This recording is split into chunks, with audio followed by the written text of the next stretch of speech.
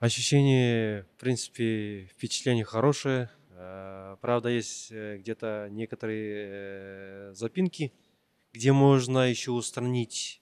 Потому что у нас метро только-только начинает развиваться, поэтому надо еще кое-где небольшие проблемки устранять. Вот, в том числе имеется в виду тактильные дорожки, где-то отклеены.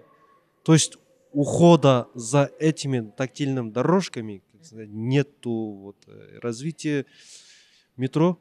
Ну, в общем, как бы 85% нормально.